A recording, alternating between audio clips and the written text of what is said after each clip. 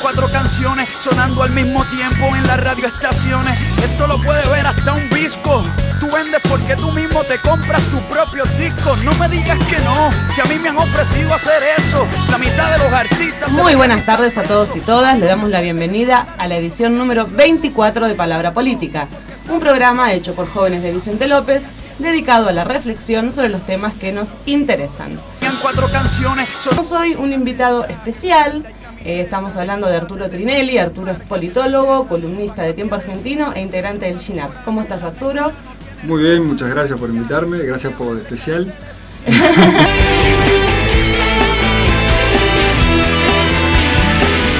Estás en Palabra Política. Empezamos con Vicente López. Juancito, ¿qué tenés para contarnos? Bueno, antes que todo, buenas tardes a todos y a todas. Retomamos el espacio de la información del ámbito local, ¿no? que estaba bastante relegado ¿no? últimamente. Desde hace varias emisiones estamos con el tema de la seguridad en Vicente López. Y en esta oportunidad les contamos que en la noche del pasado 10 de junio, en una vivienda ubicada entre las calles Ascuéniga y Las Heras, en el Bajo de Vicente López, dos matrimonios amigos fueron sorprendidos por tres ladrones fuertemente armados que entraron a su casa. El delincuente que actuaba de campana fue capturado y detenido por las autoridades policiales. Los otros dos delincuentes escaparon por una construcción cercana a la vivienda robada. La policía bonaerense está analizando las cámaras de seguridad aledañas al domicilio para dar con el paradero de los delincuentes prófugos. Según datos recabados en la zona, los asaltantes habrían robado 5.300 dólares, 550 pesos, celulares y joyas. La intervención policial se realizó a través de la comisaría quinta de, Balneario. La investigación está a cargo del fiscal Eduardo Rodríguez, de la Unidad Funcional de Instrucción 2 del Departamento Judicial de San Isidro, descentralizada en Vicente, López. El jueves 21, en horas de la noche, fue asaltado y secuestrado el periodista deportivo Mariano Biglia, cuando fue abordado por tres delincuentes al ingresar a su vivienda de la calle Caseros al 1700, aquí en Vicente López. Eh, ya dentro de la vivienda los delincuentes se, se alzaron con dinero y objetos de valor. No contentos con el botín, se llevaron a Mariano a, recorrer, a los cajeros como es usualmente eh, por los bancos cercanos. Y después de toda la odisea vivida, eh, este periodista fue liberado en cercanía de la ciudad universitaria en Núñez. Siguiendo con el, eh, digamos, con este encadenamiento de hechos de inseguridad ¿no? que aquejan a nuestro partido, el lunes 18, eso de las 14.30, en el Banco Santander Río de la localidad de Florida, este banco está ubicado en la esquina de Avenida Mitre y Libertad. Otra vez, ya lo tiene de punto, Juan. Se produjo el tercer robo que sufre en el año esta entidad bancaria, ¿no? Cuatro delincuentes se llevaron 20 mil pesos en menos de un minuto. Dos de los malvivientes ingresaron al banco fuertemente armados y amenazaron a los ocasionales clientes y empleados del lugar. Una vez que se llevaron el dinero, escaparon en un automóvil donde los esperaban los otros dos cómplices. Todavía no se ha podido dar con ellos. Fueron registrados por las cámaras de seguridad del banco. La, problemática de la seguridad tiene resonancia en toda la zona norte. Para ello se reunieron los cuatro intendentes de la región metropolitana norte, el consorcio intermunicipal, integrado por los intendentes de Tigre, Vicente López, San Isidro y San Fernando. El jueves al mediodía tuvo lugar la quinta reunión en el consorcio Parque Náutico de San Fernando, con el eje puesto en la prevención del delito y el refuerzo de la seguridad. los intendentes Massa, Pose, Macri y Andreotti estuvieron acompañados por sus secretarios, concejales, autoridades del Espicopado y de la Fundación Metropolitana. Algunos de los temas expuestos fueron la creación de la Policía eh, comunal, con la carencia de recursos y la falta de capacidad operativa, para dar respuesta a los vecinos y vecinas. Los intendentes coincidieron en las críticas al ministro de Seguridad de la provincia de Buenos Aires, conducido al ministerio, perdón, conducido por Ricardo Casal, este, y en la, en la poca cantidad de efectivos en la región y en los pocos resultados en materia de prevención del delito. También se trataron otros puntos claves que se vienen abordando en las reuniones, como ser, por ejemplo, el transporte público, eh, o sea, lo que comentamos en otros programas, la construcción de un monorriel, eh, la basura, los códigos, los códigos de edificación, las obras en la vía pública de empresas de servicio, como Edenor, Telecom, Autopista del Sol, los temas sociales que están a disposición del episcopado y los temas tributarios y de economía tanto a nivel local como a nivel provincial. Esta, semana se sumaron varios hechos delictivos y otros que dejan a las claras la falta de gestión por el Ejecutivo local. Incluso existen denuncias sobre los quemacoches en la zona y nuevamente alimentos en mal estado en las escuelas públicas. No se puede entender que en el municipio con mayor recaudación impositiva el Ejecutivo no pueda resolver nada y declare, cierro el hospital, dejo de darle seguridad a los vecinos, no levanto la basura, dejo de iluminar, no doy más educación, cierro maternales y jardines de infantes.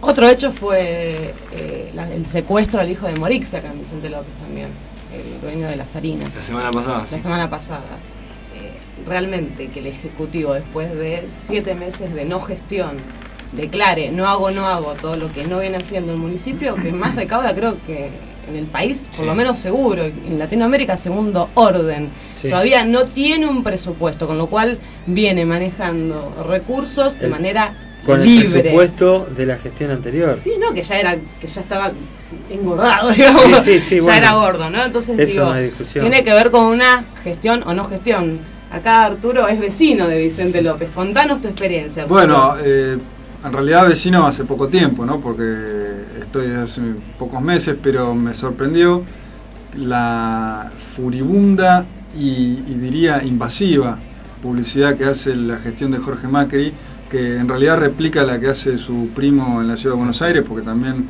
viniendo de allí uno puede ver que sucede lo mismo una campaña eh, invasiva eh, telefónica que a uno lo tiene por lo menos una vez al día contestando la, una llamada con la Lo he podido comprobar Arturo también yo. Claro, con la voz del intendente, eh, bueno, haciendo publicidad, digamos, ¿no? Es interesante para pensar porque ah, de la misma manera que se lo ataca al gobierno nacional por la presunta digamos manejo que hace de la pauta oficial o de la publicidad en en, los medios, bueno, poco se dice de lo que realizan eh, lo que realiza el PRO en sus minúsculas distritos que puede gobernar en, la ciudad de Buenos Aires y en, la provincia y que nos tienen a todos los vecinos, bueno, a merced un poco de eso, ¿no? Sí, acá la primera gestión que hizo fue cambiar el logo del municipio, eh, salir a pintar, a poner carteles, o sea, hay una clara propaganda política, digamos, ¿no? No la política de la militancia, de hablar con la gente, sino más bien de, de mostrarse. Creo que así se encaró la campaña y bueno, y quizás da resultados electorales de voto, pero claramente no de gestión. Vos recién dijiste eh, que gobiernan. ¿Gobiernan? ¿Realmente gobiernan? Sí, no, realmente, bueno, uno debería cuestionar si, si, si uno entiende por gobierno una gestión que avanza en la resolución de los problemas que afectan al distrito que, supuestamente uno está al frente y bueno, y vemos por lo que ustedes están comentando que hay temas puntuales que, no se resuelven, digamos, ¿no? Está claro que aunque sea eh, ver alguna intención en alguno de los puntos, aunque sea uno, salud, la educación, algo, eh, está no, está todo, convengamos que no está todo igual que en la gestión anterior, está peor. Las calles abandonadas, las plazas abandonadas. No estamos pidiendo un presupuesto gigante para que construya 2.000 viviendas, le estamos diciendo que limpie las plazas que ponga una persona de seguridad en la esquina de cada colegio, en un banco. Retomando lo que hablábamos. Que ya saben que, este, disculpame, que ya saben que lo tienen de punto. El Banco Santander de Mitre lo tienen de punto hace en un año tres veces, el año pasado una vez también. En, seis meses. el, primer hecho fue en enero. Bueno, y el año pasado ya O sea, ni siquiera tiene intención de decir, bueno, voy a ver eh, voy a hablar con la ciudadanía que necesita. Eh, voy, aparezco, estoy en algún lado, yo no lo veo, yo recorro Vicente López. Recorremos Vicente López. Eh, ni siquiera escucho ya hablar a los vecinos del señor intendente. y en una gestión que recordemos basó gran parte de su promesa política en reducir la, inseguridad, en Vicente López, ¿no? Fue el gran caballito de batalla, digamos, sí, no, no no, no, no está haciendo nada. Eh, yo a mí me interesa, digamos, esta región metropolitana norte, ¿no? Que son esta unión de cuatro intendentes que vendría a ser no tan afectos al proyecto nacional o que están ahí, digamos, ¿no? Eh, pero estos intendentes tienen hechos. Todos los días. Nosotros hablamos de masa, Sí. Por más que también tenga una política marketinera, propagandística, tiene hechos. Andriotti también tiene hechos en San Fernando. Sí. Pose, bueno, Es el que va primero, casi. Pose ¿no? va siempre La- primero, la ¿no? tabla. Y por ejemplo también nosotros, no sé, hablemos San Martín, Catopodis tiene hechos todos los días. Macri no tiene ningún hecho ningún día, es muy esporádico de vez en cuando. No sé qué. No qué- tenemos noticias del campo campo verde, ¿no? El campo 6. El campo 6, Bosque Alegre en San Bosque Isidro. Alegre en San Isidro, no. No sabemos sí. el río, qué es Después lo que del va a pasar. conflicto que hubo hace dos meses, no, Sí, no, no, está- no está- sabemos más qué pasó. no veremos, veremos qué pasa el año que viene. ¿no? Bueno, esta fue la primer parte de Vicente López. En un rato volvemos con más Palabra Política. Quédate ahí.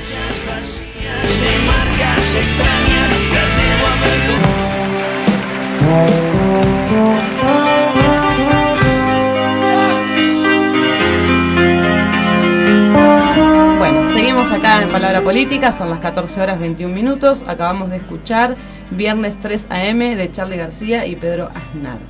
Bueno, vamos a pasar acá a hablar un poco con Arturo. Arturo, lo primero que yo te quería preguntar es, ¿cómo es esto de que sos politólogo y escribís sobre economía?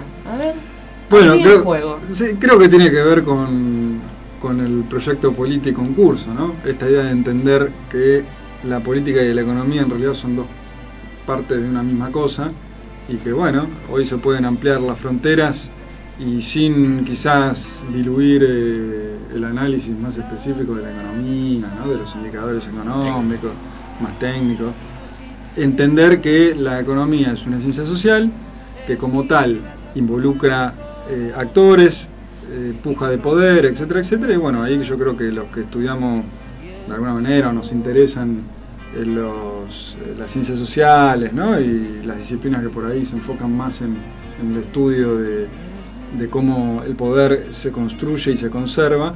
Eh, en la economía hay un amplio campo, ¿no? Si uno revisa la historia económica argentina, lo va a encontrar repetido esto en casi todas las décadas, ¿no? Por no decir todas. Así que eh, creo que si te tuviera que contestar así rápidamente, diría que la posibilidad de que hoy no solamente economistas hablen de economía tiene que ver con un modelo que nos ha de alguna manera este, influenciado, que, nos da eh, ganas de que esto pueda ocurrir y nos motiva para dar el análisis y el debate, ¿no? que es lo importante. Bueno, eh, en línea con esto de que vos decías eh, el, el modelo de país, ¿no? Donde ponen la economía, la política por encima de la economía. ¿qué, qué, qué ves en esto del CG de la CGT, por ejemplo, no? Porque es como que ellos pelean por una parte que tiene que ver con la economía, que es la, la quita o la extensión de ganancias. Claro, bueno, el propio Moyano en realidad el otro día en su conferencia de prensa dijo que la cuestión de las ganancias y de las asignaciones familiares había pasado a un segundo término. ¿no? Yo creo que ahí eh, la verdadera, el verdadero conflicto es la ambición política que hoy tiene Hugo Moyano. ¿no? Hugo Moyano ya no se piensa más como un líder sindical, sino que se piensa como un referente político. En esa, en esa disputa entre el Moyano sindical y el Moyano político, eh, me da la sensación que lo que hizo en los últimos tiempos fue querer marcarle la cancha a la presidenta de la nación. ¿no? Querer fijar agenda. Sí, Entonces, eh, si vos te reconoces como parte de un proyecto nacional y cuestionás a quien se supone conduce ese proyecto, bueno, evidentemente eh, vas a chocar, ahí va a haber intereses en pugna, va a haber un conflicto y en ese conflicto me parece que eh, este divorcio que yo en algún momento había pensado que podía ser salvable, ¿no? que, que no iba a llegar a, a esta situación de un paro nacional después de 10 años, 12 años en Argentina, eh, bueno, evidentemente eh, da todo da- daría la sensación de que ya no hay vuelta atrás, porque aparte el gobierno está también promocionando su propio candidato para la, elección de la CGT en el mes de julio, así que todo daría a indicar que bueno, que ya el- es una lástima porque Moyano es una persona con una coherencia ideológica eh, muy importante, fue realmente uno de los grandes eh, discutidores y, y quien ha repudiado fuertemente en los 90 el neoliberalismo, Sí. cuando muchos dirigentes sindicales fueron funcionales a eso. Y porque además el movimiento obrero es una columna central de cualquier proyecto que se piense que nacional y popular. ¿no? Sí, Entonces, eh, bueno, eso es algo... El programa pasado nosotros acá Sí. hablábamos que, mm, y vino otro compañero, y lo que él decía es que ya estaba corporizado, o sea, que ya no representaba justamente este Sí, proyecto obrero. Porque teníamos eh, personas que estaban ahí que ganaban 30 mil pesos por mes y que te paraban el país, o sea, la, corporización, la corporización de los sindicatos, ¿no? Y mm, yo mm, analizo lo que vos decís y digo, bueno, eh, la verdad que tenés razón, hay un divorcio que ya se hace inevitable. Se hace inevitable y de hecho está denunciado ahora Moyano, porque el gobierno nacional hizo valer un artículo de la Constitución donde Sí, totalmente. claro. eh, puede tener una pena de hasta de 5 a 10 años. Es el artículo 149 bis. Entonces digo, para llegar a, a esa instancia realmente debe haber un, un divorcio, ¿no? Ahora, pero quedó un, quedó un debate en el medio que le toca al 30% de los ciudadanos, que es el tema de ganancias, Claro. ¿no? Eh, Claro, sí, sí. Porque uno dice, es verdad, el salario no es ganancia, el salario no es, es salario, no es ganancia. ¿Qué, qué visión vos desde, desde esta economía política que manejás tenés respecto del impuesto de ganancias? Mirá, eh, a mí me parece que el- la estructura tributaria de cualquier país desarrollado, en la estructura tributaria de cualquier país desarrollado, la- el impuesto a las ganancias tiene una participación muy significativa, muchísimo más significativa que la que tiene la Argentina. Hoy la Argentina, si no recuerdo mal los últimos datos, creo que eh, la- los ingresos por ganancias representan menos del 15% de los ingresos totales de recaudación. ¿no? O sea, es un impuesto con una incidencia en la estructura tributaria bajo. Bajo. Bajo. ¿Por qué? Bueno, porque en la Argentina hay grupos económicos que concentran muchos ingresos, ¿no es cierto? Entonces, la desigualdad en los ingresos que caracteriza a la Argentina desde hace muchísimos años, que se ha revertido en los últimos años, pero que igual todavía subsiste, eh, demandaría una reconsideración sobre la incidencia de las ganancias en el conjunto del esquema tributario nacional. Ahora bien, hay otro tema que me parece que se ha filtrado, si uno sigue los discursos, los últimos discursos de Moyano, que es ya la- que se plantea la eliminación total del impuesto a ganancias. ¿no? Y ahí yo creo que hay una cuestión preocupante, porque eh, si vos planteás la disminución total y no una reconsideración del impuesto, sino una eh, disminución eh, o, o eliminación directa del impuesto, lo que estás haciendo es justamente ir en contra de los intereses de los sectores que vos supuestamente defendés. Claro. ¿Por qué? Porque harías mucho más regresivo el sistema. Mucho En todo más caso tendrían que tener ellos su, su propio proyecto, a ver de dónde sacan el dinero que tienen que quitarle a ellos. Claro, bueno, Recalde en algún momento había amagado con presentar un proyecto al respecto, después no sé, sinceramente, no sé qué pasó, si se diluyó o el gobierno nacional pidió que el proyecto se enfriara. La cuestión es que ahí ya hay un tema, ¿no? Me parece preocupante esto Es de... contradictorio, porque mismo él Claro. defiende. Porque además, Además es uno de los impuestos más progresivos, más digo. progresivos... Discutamos el IVA, discutamos el 1,2, Totalmente. discutamos impuestos donde realmente llegan lineal a toda la gente, el que Sí. gana 5, el que gana 2 paga de IVA lo mismo que el que gana 300 mil. Entonces vos decís, la verdad que quizás abramos el debate y discutamos una reforma tributaria. Exacto, exacto. Bueno, ahí Mejoremos el empleo en blanco también, como para que ese 30% se...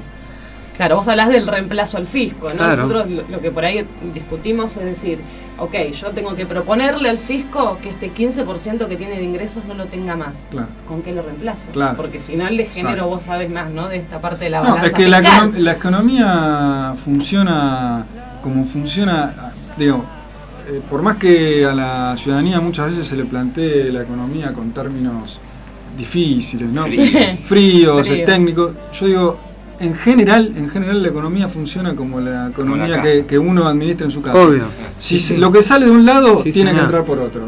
Eso está claro. Mm. Si vos planteás la eliminación del impuesto a las ganancias, tenés que hacer una contrapropuesta de, bueno, cómo financiamos eso que se deja de percibir, ¿no es cierto? Tal cual. Ahí hay un debate, como vos decís muy bien Sole, en general de lo que es la estructura tributaria argentina, insisto, una estructura tributaria que merecería una reconsideración eh, desde todos los puntos de vista. Me parece que hay que avanzar en una ley, en una nueva ley de coparticipación federal de impuestos. Hoy vemos muchas provincias que están eh, con problemas para Mucho déficit. sueldos, sí, con, con déficit. Ahí también hay que hacer, y por eso es importante quienes les gustan las ciencias sociales, hay que hacer un- una consideración también de cuál ha sido el comportamiento de las administraciones locales. ¿Por qué? Claro. Porque muchas administraciones locales muchas veces eh, pretenden hacer pesar la carga tributaria de los recursos que perciben en impuestos nacionales y no en impuestos provinciales para no deslegitim- deslegitimarse Deslegitimarse. políticamente, porque siempre es antipático plantear Sí, la claro. creación de nuevos impuestos, ¿no? Entonces, y, y en ese sentido hay provincias que recaudan más por impuestos propios, como Buenos Aires, que de 100 millones de, de, de cada 100 pesos que recibe de impuestos, 60, o sea, el 60% son impuestos propios y el resto son impuestos nacionales, cuando hay provincias como Formosa que tiene una capacidad de 15% de generación de recursos propios. Claro. O sea, que depende mucho más de la nación para la, que elegir en impuestos. Y además porque hay una cuestión básica que es que la ley de coparticipación está pensada para sacarle más a los que más tienen y darle más a los que menos tienen, digamos, ¿no? Claro. Entonces, en ese sentido... Está concentrado el ingreso, esto que vos hablabas recién, ¿no? Totalmente, totalmente. Eh, tiene que ver con la concentración de, del ingreso y de distribuir, ¿no? Es un sistema solidario, porque Exacto. además esto es lo que tiene ganancias. Ganancias tiene una tabla, es una medida. La persona que gana, no sé si están 7 mil pesos ahora, a partir de 7 mil pesos es donde se empieza a pagar un porcentaje. Igual va a que también depende de lo que declare la persona, porque en enero haces un presupuesto de lo que vas a ganar durante el año Sí. te descuentan en base a eso, pero a fin de año vos demostrás que lo que propusiste al principio de año. Entonces digo, es totalmente progresiva ¿por qué? porque es acorde a lo que ganás, no es que paga todo el mundo lo mismo. Y es solidario, porque el que menos tiene después recibe mediante asignación universal por hijo y otras cosas que hace el gobierno nacional. Bueno, aclarado lo- este tema, ¿no? Vos hablaste de, eh, de Moyano con una capacidad política. No había un proyecto de ley por parte del moyanismo para esto. Sin embargo, se hizo el paro en función de esto. Hubo una jugada política. ¿Vos cómo lo ves desde el punto de vista de salir a decir quiero esto o esto sin nada? Claro. En un momento decía no me muevo el 30%. Sí, sí, bueno, en realidad Moyano representa, porque también eh, es importante eh, tenerlo en cuenta, la CGT es un complejo, ¿no? Este, digamos, central, central de trabajadores que Sí. nuclea muchos gremios con intereses diversos. Si uno ve eh, quiénes van a apoyar o quienes por ahora se han pronunciado a favor del paro, va a encontrar que en realidad no son todos los gremios, sino diría más bien 12 creo que son. Sí, 12, 12. son los y quizás los menos representativos en términos de, cantidad de afiliados, ¿no? Porque la UOCRA no va a participar, la. UOM no va a participar, ESMATA no va a participar, eh, Si hablamos eh, por la línea de poder, se diluye. Se Claro. diluye porque son todos gremios bastante pequeños. Exactamente. Y si uno ve, paradójicamente, los gremios que se han pronunciado a favor del paro, se va a encontrar que han sido gremios con una trayectoria realmente, por lo menos cuestionable en los últimos años. El Momo Venegas, Barrio Nuevo. eh, bueno, digo, es la, la peor parte del sindicalismo, digamos, Sí. ¿no?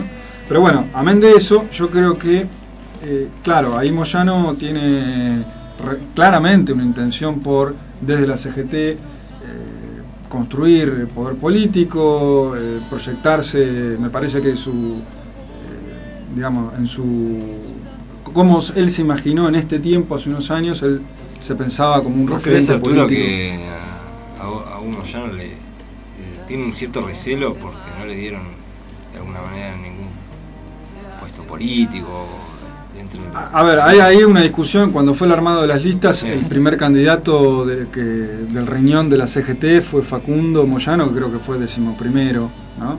O sea que en realidad tuvo ahí una participación Importante. este, no, digo, en términos de lo, lo que él pensaba, lo que Ah. Hugo Moyano pensaba. Le bajaban el pulgar, sí. Le bajaron el pulgar, fue solamente Facundo en el decimoprimer lugar.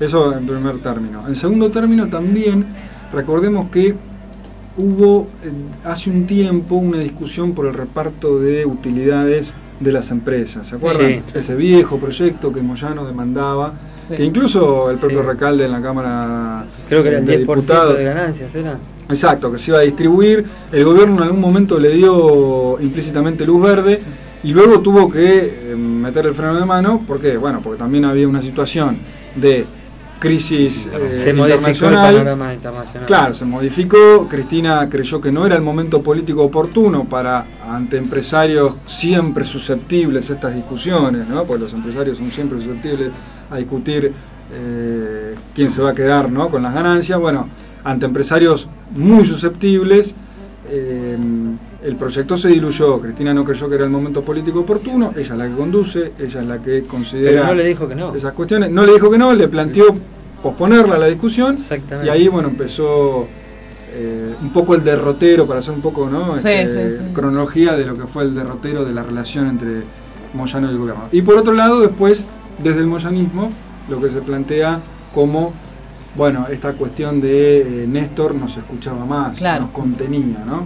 Este, bueno, Pero son declaraciones ahí- para los medios. Sí. sí, sin duda, sin duda. ¿no? Para cerrar este bloque, yo quiero recordar algo que dijo la presidenta cuando Moyano le dijo: en algún momento tiene que haber un trabajador en ese lugar. Y la presidenta le dijo: ya hay una trabajadora. Así Y que, te, y te agrego otro, eh, Cristina cuando dijo en uno de sus discursos, yo no soy neutral. Claro. Y ahí fijó ahí fijó. eh, la línea neutral. política, digamos. Yo no soy neutral. O sea, dijo lo que viene cumpliendo. Y dijo lo que viene cumpliendo. Entonces, ese no ser neutral me parece que es un mensaje contundente.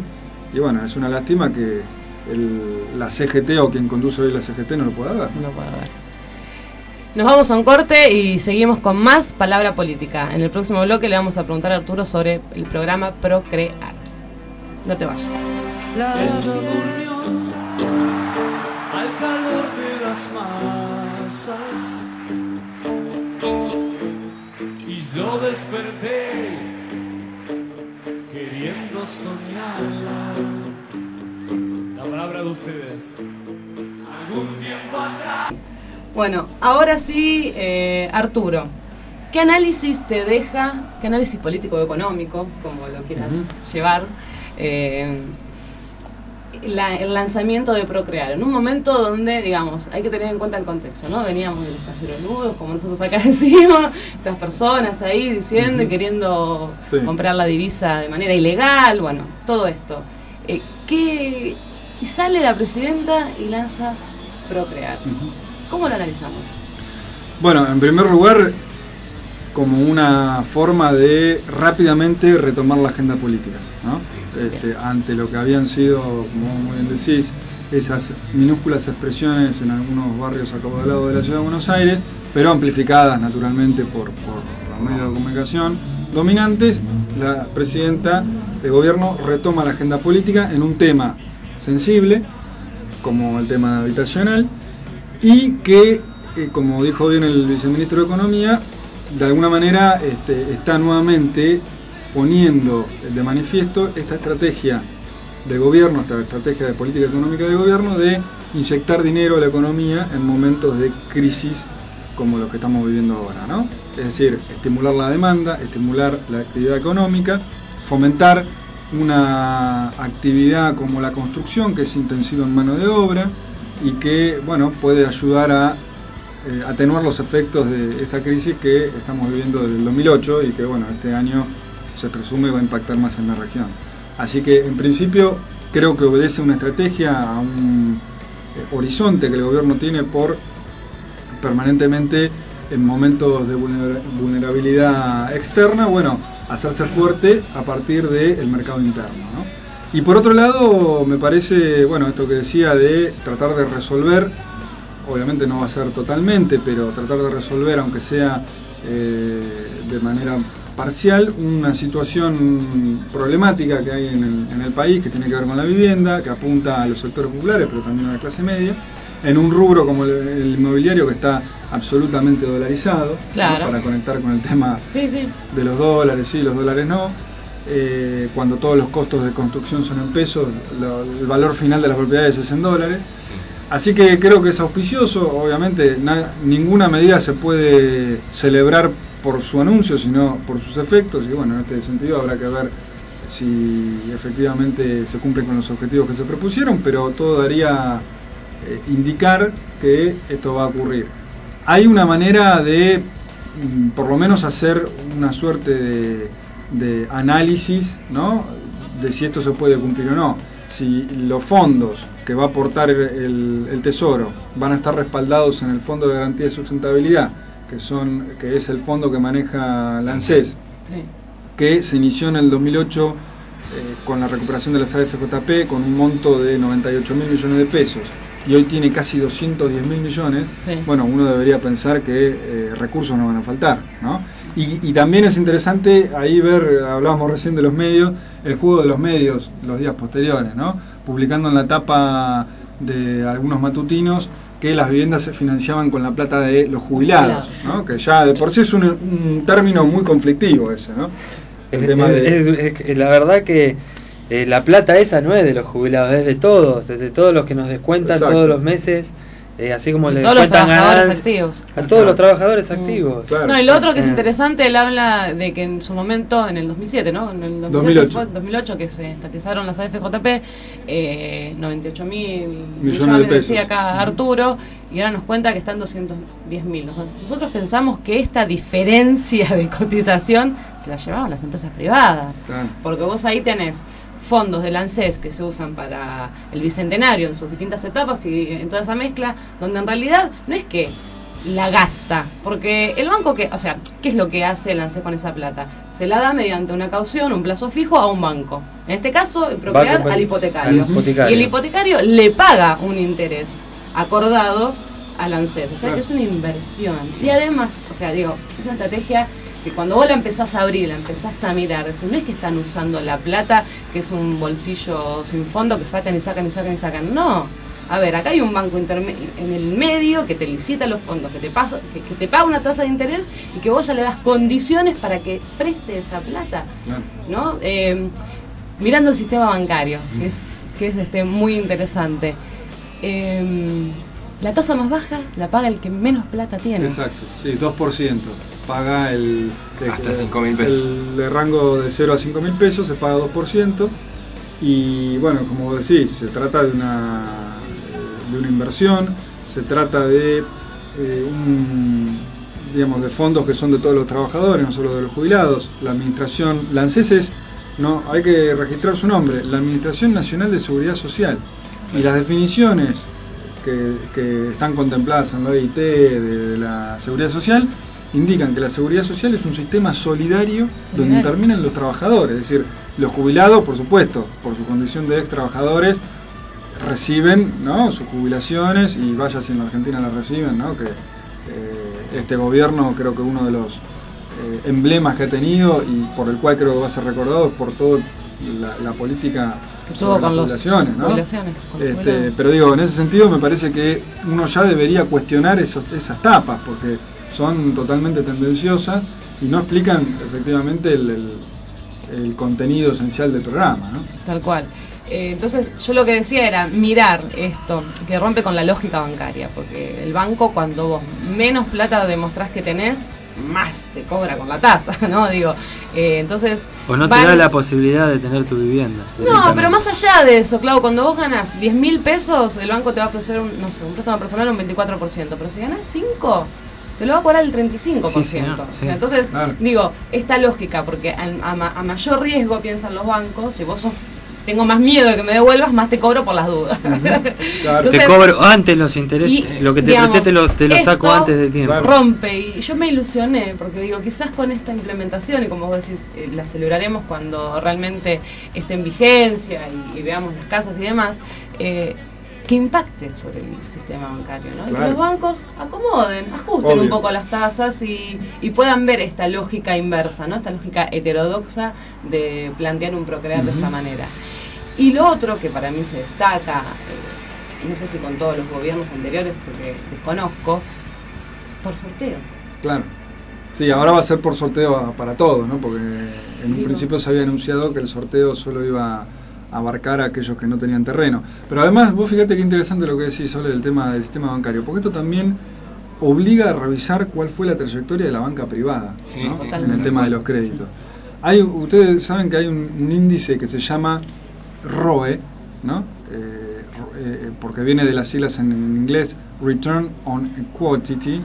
Wow. No soy, no soy muy bueno decirlo, pero bueno, que tiene que, que- que el ROE indica la ganancia de los bancos, ¿no? Sí. Si uno observa eh, cómo evolucionó el ROE, que es este indicador económico que se utiliza para medir la rentabilidad bancaria.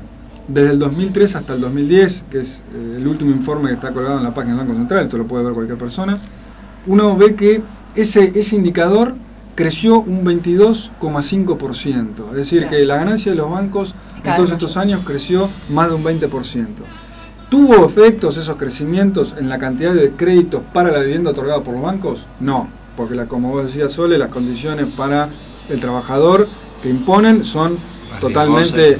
más alta. Sí, son dif- muy difíciles de cumplir, hay que tener una, una determinada cantidad de ingresos que en general la clase media o los trabajadores no tienen, y con tasas que son muy onerosas y a las cuales no todo el mundo puede llegar. Ahora, eh, ¿qué privilegiaron los bancos? Bueno, privilegiaron los créditos al consumo eh, de electrodomésticos, es decir, eh, créditos fáciles, ¿no? Créditos sí, que tienen bajo riesgo y que por lo tanto al banco le permiten tener que- una devolución claro, rápida. Y que diversifican la cartera, porque no es lo mismo prestarte a vos 200 mil pesos para comprarte una casa que prestarle a 10 personas 20 mil pesos Exacto, a cada uno. Entonces exacto. vos cuando diversificaste la cartera, a su vez lo que hiciste fue bajar el riesgo y la exposición, ¿no? Claro. Sí, más que nada porque le cobran el gasto al principio y ya está. Habíamos hablado nosotros el año pasado, entrevistamos a Juan Carlos Junio, Juan Carlos Junio es diputado del Sí. Partido Solidario, Nuevo Encuentro, y él nos hablaba sobre una reforma sobre el sistema financiero.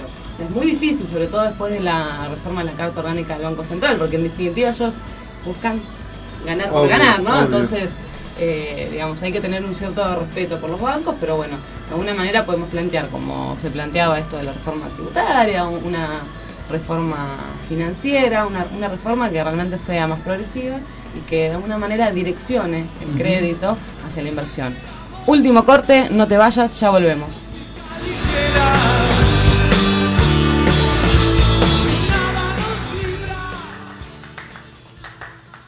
A tus amigos con el corazón.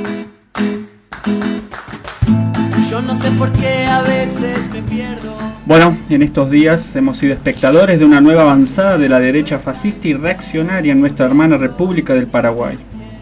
La isla rodeada de tierra, como la había bautizado el gran escritor Augusto Roabastos.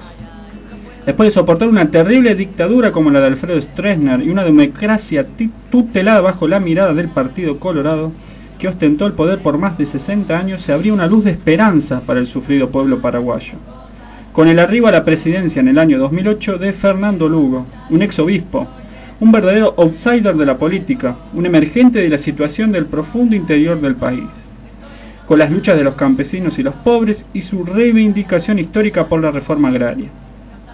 Fernando Lugo no poseía partido propio, él fue la cabeza de una serie de alianzas de movimientos sociales y algunos partidos políticos. Nuestro compañero Lugo poseía una debilidad evidente, la de carecer de fuerza propia no poder arriar la tropa propia para soportar los embates de la derecha oligárquica y cipaya de ese país. El Partido Liberal, el otro gran partido, el alternativo en las contiendas electorales, le tendió una trampa a Lugo al asociarse en el Congreso con las fuerzas coloradas.